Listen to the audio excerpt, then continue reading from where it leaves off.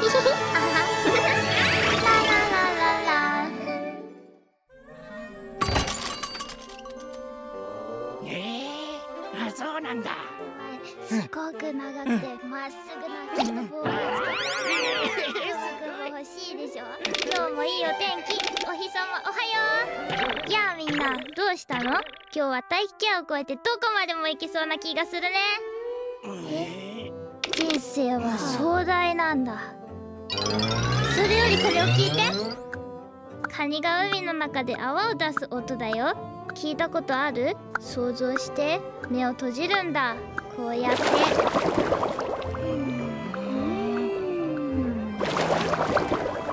ね。海にいるみたいでしょ？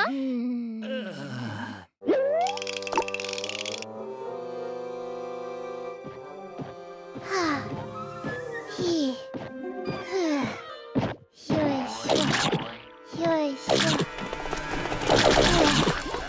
はあは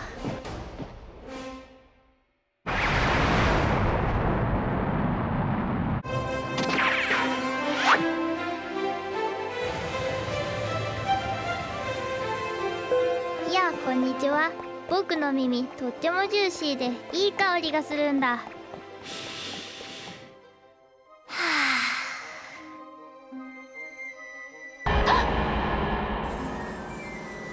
僕はこの日自分の耳が食べ物だと知ったのです。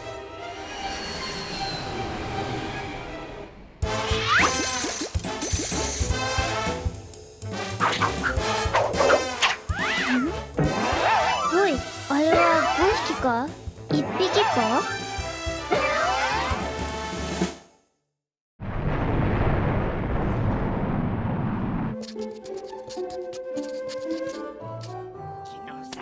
った。困った。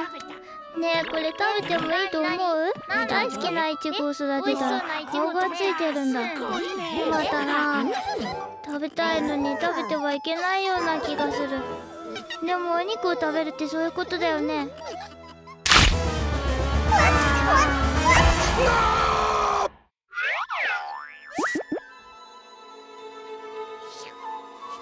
今日も木の上でおねんねか？それチョコアイス？うんち？